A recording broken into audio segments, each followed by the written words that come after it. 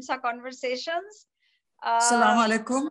जी जी वालेकुम सलाम तो what is your what does non violence mean to you अहिंसा का आपके लिए क्या मायने है for me whether it's personal or whether it's in society for me non-violence is harmony at each stage and uh, you know between small uh, in small incidents or in larger society.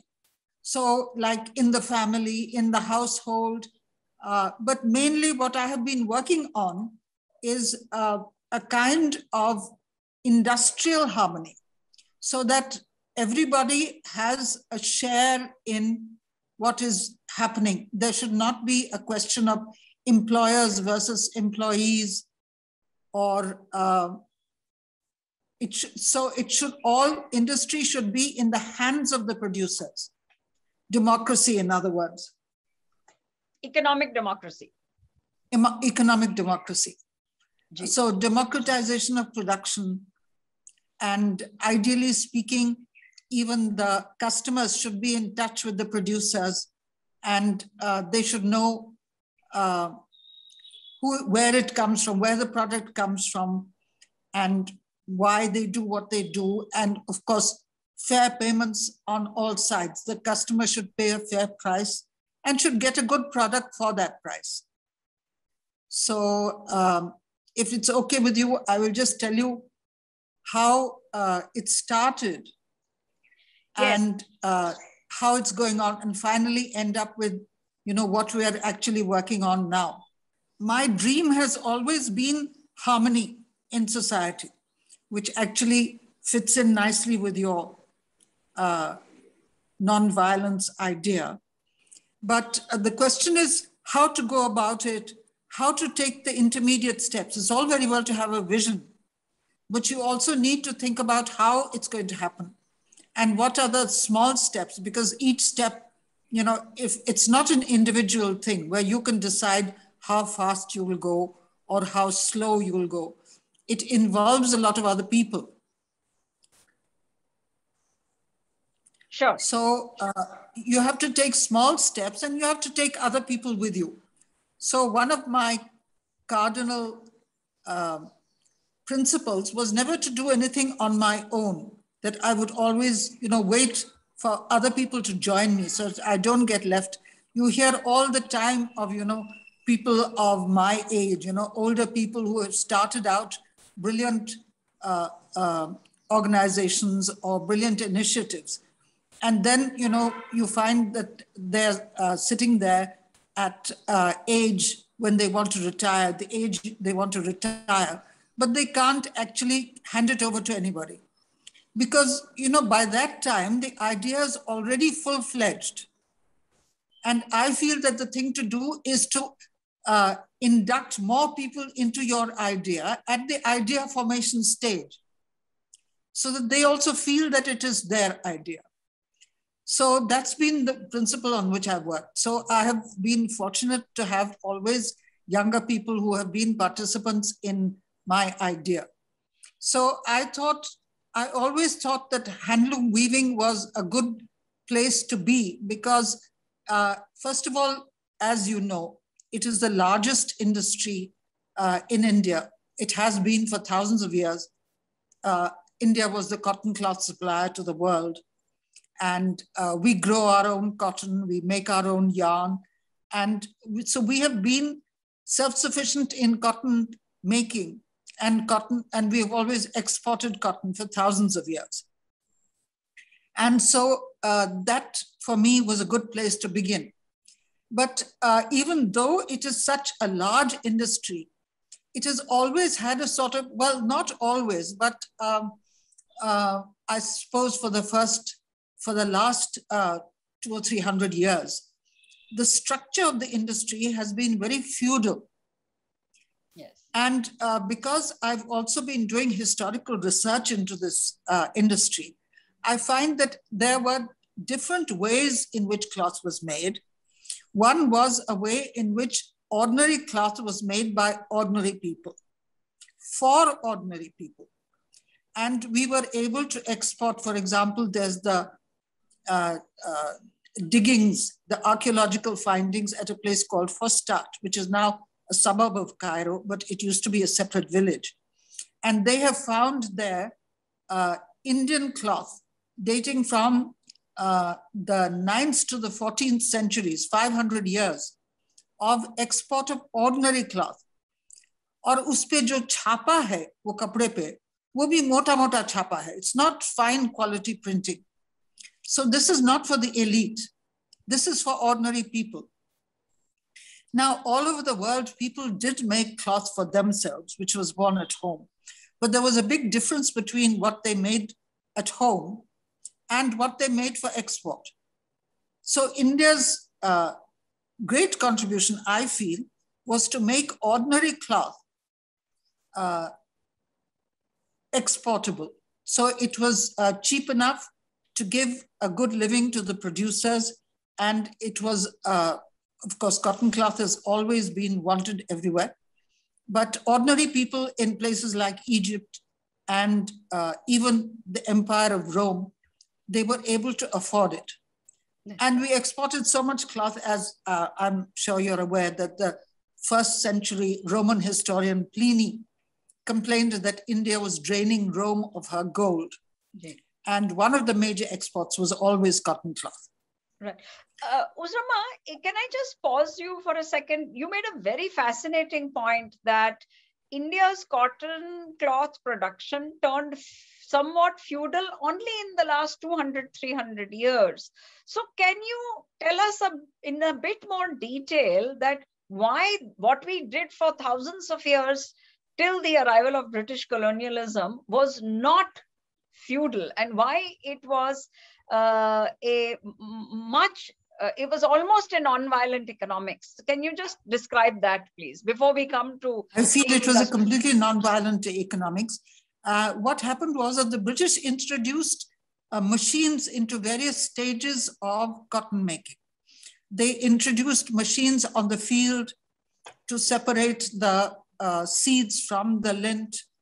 Uh, of course, they introduced spinning machines and weaving machines, but that came later. But with the introduction of machinery, uh, more capital was needed for the machines. Otherwise, it was always a very low capital thing. Everybody could afford that small spinning wheel and uh, could buy the cotton. We had the local markets, and the cotton farmers used to come to the uh, markets with their cotton, and the ordinary weavers used to be able to buy that cotton and to be able to spin it at home and so on. But with the introduction of big machinery, you needed uh, capital for that. That's right. And so when you needed capital, then you needed an intermediary who would provide that capital. So there was the role of what we now know as the master weaver, who was That's the intermediary between the market and the producer. And uh, there was always a small niche market which supplied the elite in India uh, which used, uh, you know, gold zari, silver zari, and fine yarn. But that was a very small part. I mean, when you consider the population of India and the uh, proportion of the elite was always tiny. But what happened with the introduction of machinery was that uh, this kind of need for capital became sort of took over the entire industry and it uh, made the actual weaver into just a laborer on right. the machinery. So, in a, what I'm hearing you say is that it deprived the entire production ecosystem of its sense of agency. Am I correct? Uh, that every, I suppose, many yes, players, yes, everybody had a greater sense of agency in the earlier system. Yeah, when you say agency, I mean, what I'm hearing from when you say use that phrase, sense of agency. a sense of empowerment. yeah, the, the democratic principle. Yes. So uh, the, with the small, and the markets were a, was a very important thing. So there used to be these small weekly markets where, uh, which was dominated by small producers. Uh, we have an account uh, in some old uh, British papers around 1867, I think it is, of this weekly market in a place called Jamur Ghatta, which is you know near Wardha. And uh, in that market, large numbers of ordinary weavers came and they brought their, they brought their cloth to the market, which they sold. And they also uh, resupplied themselves with yarn and with uh, the spinners resupplied themselves with the uh, raw cotton. So all these uh, lateral relationships yeah. were made easy by these small local markets. It's a very interconnected thing. You know, you can't separate production from market yeah. and the cost, you know, those things. At this point, uh, I would request you to explain to us uh, in what ways uh, the industrial revolution itself, firstly, and then piggyback riding on the. So I really want to separate, in a sense, the industrial revolution violence from colonialism, just for argument's sake for a moment, because I think today it is very difficult for many people to grasp. Uh, because we've all been educated to glorify the industrial revolution as the savior of the species uh, but can you, your sector, your story of cotton and handloom weaving really demonstrates in what ways it in, introduced unprecedented forms of violence. So can you explain that first from the technology aspect? You know, for example, the story you tell about why a particular kind of cotton came to be chosen. Because the the the plant was decided to suit the machine. So वो सारी कहानी अगर आप सुनाए. So what was this story of uh, greater violence? So, you know, the first machines of the Industrial Revolution had to do with cotton. They were yarn spinning machines, and uh, everybody knows that, you know, the spinning jenny and the mule, they were the first uh, machines that were made to spin yarn and later on to weave cloth. Spinning was much earlier. And uh, so the yarn that they spun, India, you see, you cannot disconnect the Industrial Revolution and colonialism, as far as I'm concerned, my thinking is concerned. Because uh, India provided the market for that yarn. So once uh, the uh, machines started making yarn, it was on a huge scale. Whereas, you know, in India before that, we've always had small scale on uh, the, there'll be a huge number of small scales. So it will all add up to the large scale, but it will not be the similar, exactly the same thing. Not the very, it's very different. The scale, even though it is large, it is very different from that machine, which produces the same kind of uh, yarn. So where would this machine spun yarn be exported to? It was to its biggest colony. So India was considered the biggest customer of the products of the Industrial Revolution. So that's why I feel you can't separate the two. So they started. No, they, no, go ahead, please. So they, they started sending yarn to India. And you know that lovely, that pathetic letter which Gandhi reproduces in Young India from the uh, uh, spinner who used to support her aged in-laws and daughters on her spinning is not able to do it any longer because the yarn which is uh, now brought into the market is sold cheaper than her yarn. Yes, yes. But the, re the reason I was suggesting, just for our uh, purposes of understanding, that we look at the Industrial Revolution and colonialism uh, distinctly for a moment was what you have told me in the past many times about how the uh, spinning jinny, because the machine came to be for whatever reason, designed in a certain way, the cultivation of cotton was molded to suit the machine, not the other way around. Yeah. So that yeah, story, so that... if you can tell, and how, because that was a crucial element of the economic and cultural violence that was then inflicted on India. Yeah. So uh, the uh, spinning machines. I think you're mixing up ginning and spinning. I'm sorry. Please, but, please make my. I, I, I stand corrected. Yeah, yeah. So ginning is removing the seed from the lint, and uh, then uh, spinning is, of course, using that lint to make yarn. So when that machine was introduced, basically it needed a certain kind of lint, which our cottons were not suited for. First of all, our middle name is diversity. Everything we do, our great strength is diversity. And the minute we start getting away from diversity, then we get into trouble. So we had very flexible uh, tools. You can call them machines if you like, like the uh, charkha and the uh, charkha or the takli. There were two different ways of spinning. Charkha was introduced about the 13th century, Irfan Habib says. But uh, even before that, the takli. So they were able to spin different kinds of cotton. But once the machine was introduced, it needed only one kind of cotton. And that cotton had to suit that machinery. So basically what uh, the spinning machinery that is in use today is basically on that same principle. And because it's made of metal, our tools were mostly made of wood, which didn't, wood doesn't generate heat when you uh, use it. But uh, metal, gen, metal, especially when it becomes faster and faster, generates more and more heat. So then you need a raw material that will able to withstand that heat and uh, which will not break with the speed of that spinning. So ours was slow speed and non-heat generating, and the machinery that were introduced was generated heat and uh, needed longer and longer staple to withstand the speed. And basically what is in use today is on the same principle.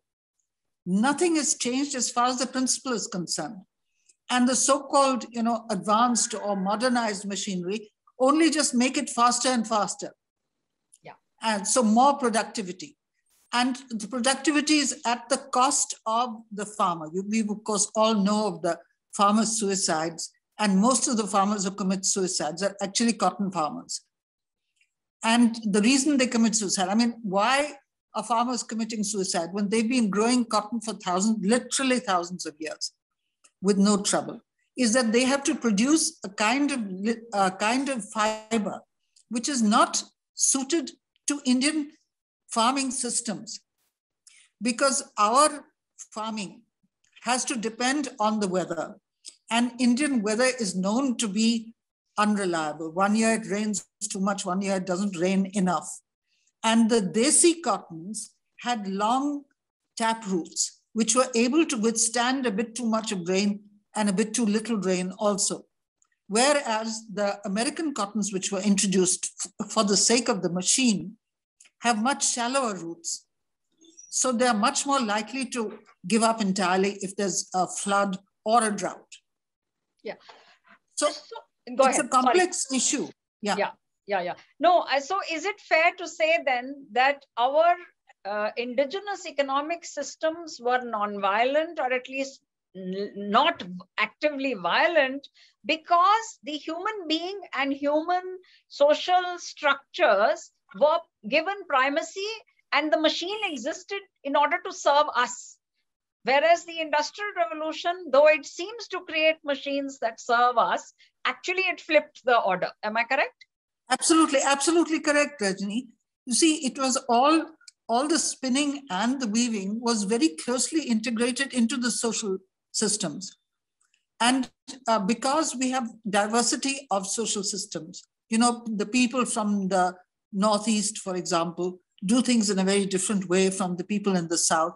Yeah. And everybody in each area, they developed their own cottons and they developed their own way. Every area produced cloth. Yeah. In every area of India, you find weaving, but you find different kind of looms and you find different kind of cotton, which is grown there. The Northeast, the people in the Northeast now say that we never had our own cottons, but that's not right. They've forgotten their history. There were local cottons that grew in the Northeast. And uh, there were, of course, different cottons everywhere. Now, the government, unfortunately, doesn't realize the value of this diversity. And they also try and squeeze everything into that uh, mass production mode, which doesn't suit us at all. Yeah. So they will try and introduce, for example, try to introduce long staple cotton. So there was a cotton called Suvin, which was introduced, I think, about 25 to 30 years ago. Yeah. But after some time, it's lost its characteristics. Yeah. So you can't introduce things artificially. They have to be organic. They have to be organically uh, part of uh, a system, an ecosystem Right. that includes the people and the tools and everyone. and and that in a sense uh, is precisely what you have worked for i think for over Yes. decades now so can you uh, give a brief overview of that journey from Dastkar Andhra to decentralized spinning to Malkha Well, um, as you step into any kind of activity, you find the complications and all the complexes in that industry. So you can't know everything straight away, and you're not born with that knowledge. But uh, when you get into handloom weaving, then you see how the connections with the cotton, you see the connections with the technology. For instance, when we started our first handloom weaving project, we started in a small village called Chinnur. And uh, the government, in its wisdom, we were supported by the government. It was a government funded project. So they funded frame looms only. So now the frame loom, the difference between the frame loom and the hand loom, they're both hand weaving, but the frame loom take, can take a much longer warp. So uh, allegedly the productivity is higher. But in Chinnur, the weavers had been used to weaving on pit looms. Now, when they had to weave on the frame loom, they were able to make these long warps. So each warp was about 220 meters or something. And whereas a pit loom takes a meter about 12, uh, uh, takes a, a warp of about 12 meters. So in the village in Chinnur, and see, we learned all that we have learned, we've learned from practical experience. So uh, in Chinnur, when we started uh, the weaving project, people heard that weaving has started again in Chinnur, and they're very happy. And they would come to the weaver's house and order uh, headcloth or a lungi. And uh, but the weaver had to say that, well, I have to finish what is on the beam first, and uh, then only then I can make what you want. And just at that time, the power loom was also introduced. So the uh, the market had these ready-made uh, power loom cloth. So instead of waiting for the weaver to finish his long warp, the uh, buyer was able to go to the market and uh, buy a power loom cloth instead. And so when you see the difference between the hand loom, the pit loom, and the frame loom, you have to also see what is the market for which it is uh, uh, being used. And for a village market, for a small market, a pit loom is much more suitable. Yeah, yeah. So what this is all illustrating, Uzramma, is uh, you know Gandhiji's uh, very famous observation that uh, it, the the answer to the, our uh, you know species really not just to India is not in mass production but production by the masses. Uh, so can you uh, say how your decentralized cotton project tried to make an intervention in that regard and you know promote that well the first thing that we did uh, was to make the uh, scale of spinning smaller. Because what happened when the uh, spinning machines came in is that the scale of spinning became much larger than either cotton growing or of cotton weaving so both these small scale occupations were then dependent on a much larger intermediary so the first thing that we did uh, was to reduce the scale of spinning. So we made these small scale spinning units, which are still running, by the way. But what we have not been able to do so far, but what we are going to work on now, is to also uh, change the technology. Because though our units, the Malkha units, are smaller in scale, but they still use the same principle of the technology. We have not yet changed that principle of the technology.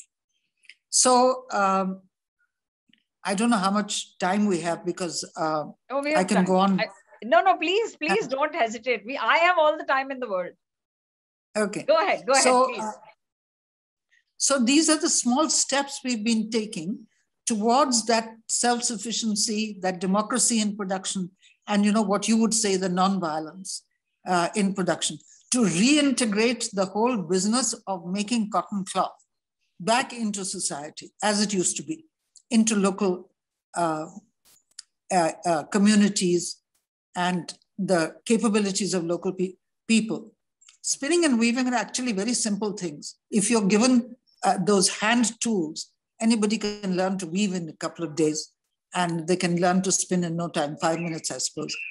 And uh, so uh, jumping ahead to the uh, project that we're working on now is to integrate the cotton farming uh, with the spinning and the weaving. So we've got a, a, meeting planned in the next few weeks between the farmers of one area where the, there, are, there is also local weaving.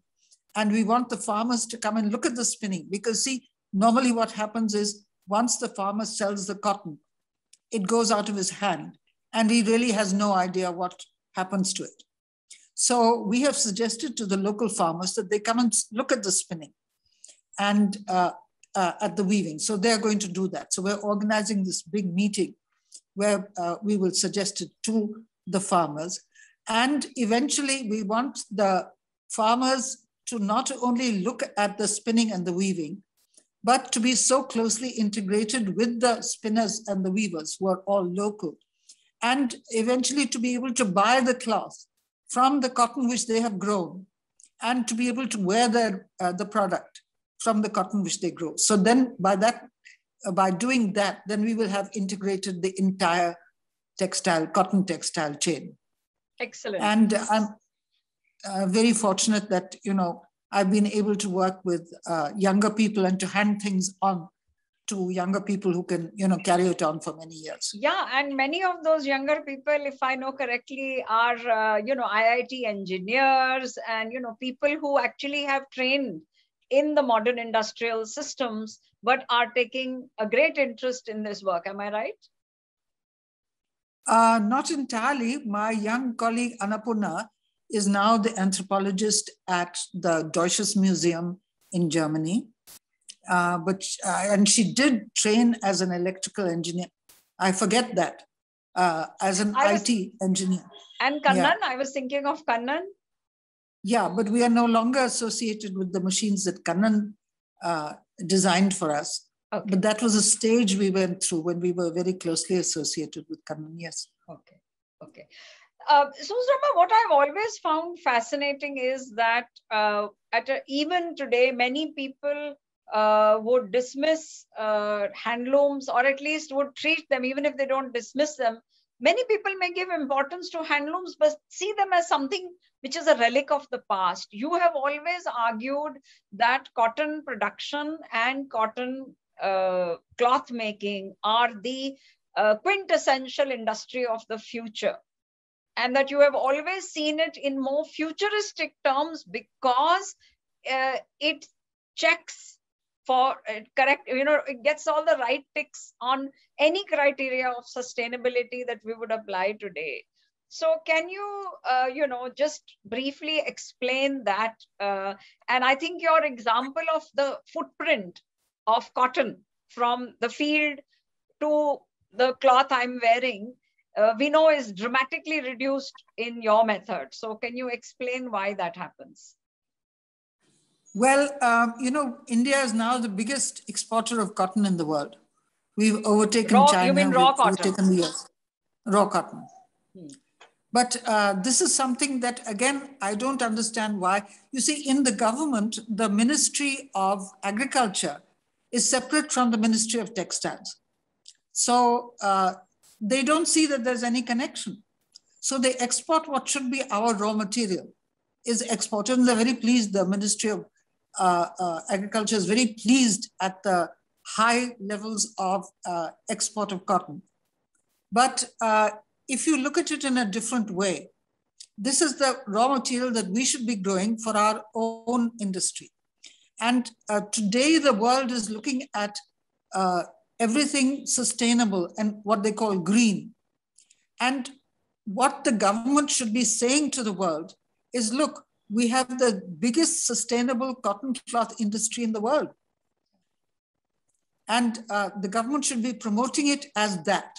Yeah. But unfortunately, our government has always followed in the colonial footsteps. You know, the brown sahibs have always, you know, taken the white sahibs' route. They have followed that route, and they still think that mass production is a, a good thing for us now. Whether it's a Congress government or a BJP government, they all seem to follow that rule. They don't look at, I mean, uh, we hear people saying, the government saying that uh, village industries should be encouraged, but what is the actual way in which they plan to encourage it? I, I have really have no idea. And you cannot uh, keep handloom weaving uh, restricted to the elite because the elite markets, whether it's in India or whether it's abroad, is always going to be small. But the, there is a huge number of people who value cotton cloth. And they always did, and they always will. So, why are we not promoting our sustainable cotton cloth industry, the handloom industry, as a sustainable industry for the future? Yeah. So, uh, just to enumerate, one is that it is very low uh, energy in terms of either uh, whether it is uh, uh, carbon energy or even renewable energy. Uh, if, if we were to grow cotton in the native way and do this process in the way that you have innovated, or at least you have brought up to date for not innovated, but made it relevant for the contemporary situation, so it's low energy, it involves masses of people, it's an easily uh, deployable skill. It gives the individual uh, manu- uh, you know, producer or worker a sense of command over their time and their energy and their work location, right? And it then is also uh, very amenable to a decentralized use. So it's a decentralized production and it's a decentralized use of the product. Am I correct? And you know, have I missed any these days, yeah, yeah, you're, you're absolutely right. And uh, somehow we're always looking to catch up with China. You know, we always feel that China is ahead of us. But this is an industry in which we totally outcompete China. Nobody can beat us for, uh, you know, producing cotton handloom cloth. Nobody in the world. We are the uh, always been in historical times, and we can be today again the uh, leading uh, producers of sustainable cotton cloth. Yeah, yeah, yeah. Something, by the way, which China would be very happy to do. You know, when we had this um, uh, conference to which uh, the Chinese people came, they wanted to learn from us about, you know, how to grow indigo, how to do natural dyeing, and uh, uh, also envied us for our large cotton weaving industry. Why are they not able to do it? What do we have that they don't have? Um, first of all, we have the tradition of making cotton cloth on the handloom. Now, uh, some time, what China is good at, you see, what China does which uh, we have never done, is work to its strengths. You know, China, the, the Chinese people are largely one racial type. They're the Han people. And uh, everybody else is, you know, much, much smaller. Maybe 10% of people are non-Han, but they're all one racial. That's, again, a great difference between India and China. India is made up of a lot of different racial types. And uh, how does other, that have a bearing on the production system? No, so yeah, so the thing is that they what they're good at is is making a lot of the same kind of thing because they are they think in the same kind of way. You see, whereas our strength is diversity, it always has been. And that is what actually China envies us for, is our diversity. But you don't get it, you know, in a day. We have uh, all kinds of diversities. And we should understand that diversity is our strength. Here, would you like to uh, say something about uh, the issue of varna and varnashram and jati because I, I feel that the modernist mind tends to look at the question of varna, ashram, and jati in a somewhat one dimensional way. Whereas the story that you have always told of both the history and the contemporary reality of uh, cotton uh, production uh, and uh, weaving, etc., indicates that we had a very complex and overlapping structure of social relations. Uh, would you like to comment on that at all or share any detail? Well, that... as you see, as, as far as I know in my information, the largest part of the Indian population is the uh, working population. You know, uh, the people who are the intellectuals and the people who are the warriors have been always very small parts of the population the largest part of the population of India has been the working population, the farmers, the hand workers, you know, the people who, metal workers, you know, any kind of artisans and farmers. They have been maybe, I don't know, a huge percentage. I don't think anybody has actually done that kind of census. And in that working population, there's a lot of flexibility the gold weaver, the gold, the goldsmith can become a woodworker and so on. There's a lot of uh, flexibility and whatever happens to be uh, the thing in demand at that moment, they turn their hands to. Like a lot of the artisans in the Andhra region, for example, who were uh, uh spinners or weavers, have now become agricultural labor because that is the uh, economic activity that is paying proper wages. And if we were able to introduce, if we were able to have, uh, you know, uh, good wages for any kind of artisan work, you know, they would, they can come back to artisan work in a minute. So there's a lot of flexibility and they, one can turn uh, their hands to another. How do you then see the current uh, dominant trends in technology because uh, we are living in a time when um, the results, the outcomes of artificial intelligence are, uh, well, shall we say, uh, like uh, ready to take over the world, it would seem.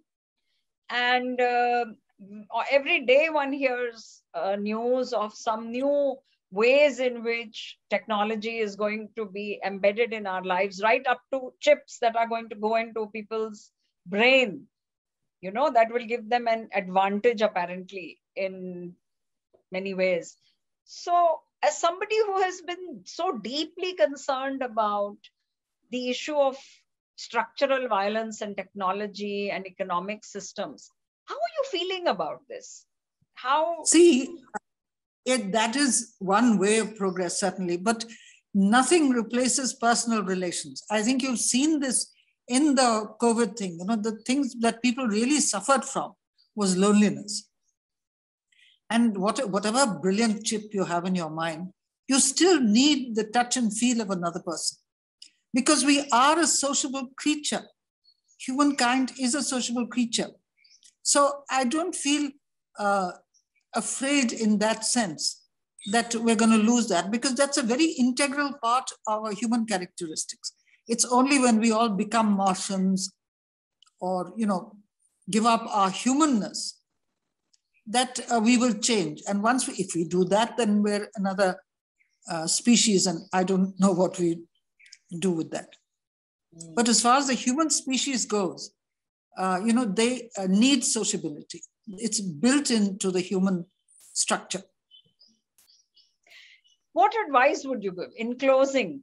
Uh, what advice would you give to young people who want to be part of the ongoing effort or and, and especially now with climate chaos uh, becoming uh, more and more accelerated? Uh, there are a lot of young people i meet who want to be part of the solution. They i can sense in them a striving for you know the nonviolent systems in the way you have described them. So what are some of the you know tips or what is firstly what are the inner strengths that they can cultivate to strengthen their own resolve? And what are some of the pathways that you see which are in could be inviting for them? See there are a lot of well-intentioned young people. I think the people who come and talk to you for example are very warm-hearted and very well-intentioned. And uh, there are people i know who uh, for instance uh, when from andhra pradesh uh, there was this horrible exodus of the people who didn't have work, you know, who walked back to their villages. So I know people who spent their time and their own money in feeding those people. They set up kitchens and fed them. So all these people who come to you, the young people who come to you, I think they're looking for some meaning in their life. And uh, what, uh, see, there are people like uh, Asim Srivastava and so on, uh, Ashoka Foundation. So he's running these courses exactly for people like that. And uh, I feel that they have to spend time in those organizations. And if there isn't one nearby, they should do some research into the kind of organizations that would help them to fulfill that. And you see, it's not enough just to have those good intentions and work on these things. It's you also need a revolution. You need a kind of social revolution that would make those, uh, you know, I don't know if you are familiar with the Bakasura story. Yeah. But yes, but I would like you to yeah. narrate it again here. So the uh, Bakasura is this monster that comes to uh, the jungle, and every day he demands a sacrifice of uh, two of uh, particular animals. So today it will be one particular animal, and tomorrow it will be some uh, other particular. And the animals are all fighting among themselves as to who will be that uh, sacrifice. Obviously, nobody wants to be, but uh, the fight amongst themselves is who is going to be the first to be sacrificed.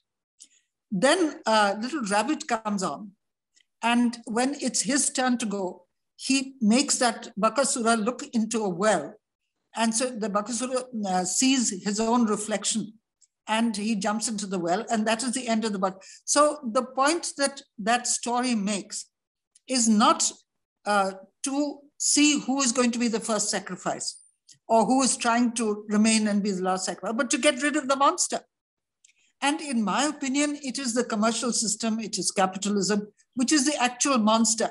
And however much these lovely lovely young people uh, who spend their time feeding the uh, people who need food, you know, who fed the workers who are uh, moving back home, they need to take a step further and realize that what is it that's actually causing those things? What is it that made those people all go back to their villages? Why isn't there work for them in the villages? Why did they come in the first place? And so, why are they not working on that kind of social revolution that will ensure that those things never happen again? rather than, you know, just spending their, uh, you know, using their warm hearts and their good intentions just to uh, take care of the uh, people going back or the people in trouble.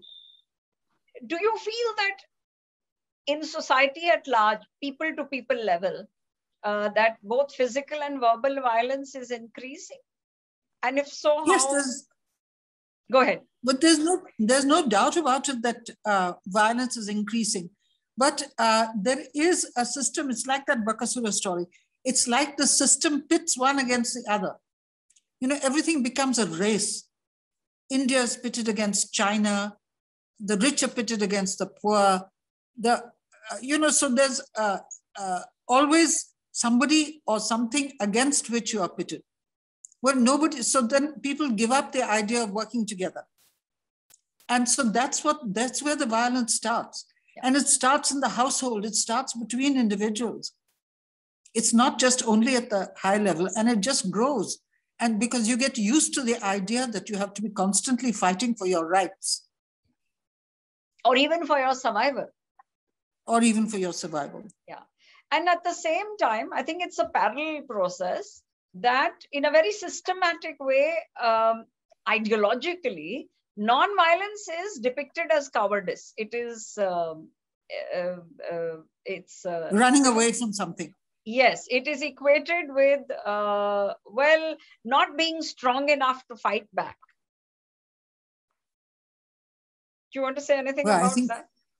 Well, I think uh, Gandhi put that idea to rest because he said that's the best way is to is to fight violence is with non-violence. It's not just running away from the violence. It's not being passive. You have it has to be a very active thing. Yeah. Any closing thoughts? Anything that we left out? no, thank you very much. No, but yeah, anything chance. else yeah. on your mind? Not really. You, of course, I would like to talk more in detail about the work that we're doing because this is actually the small steps, you know, that need to be taken. And uh, our group is a very practical group. So I think you have to think more about, you know, what are the steps to be taken towards a non-violent society.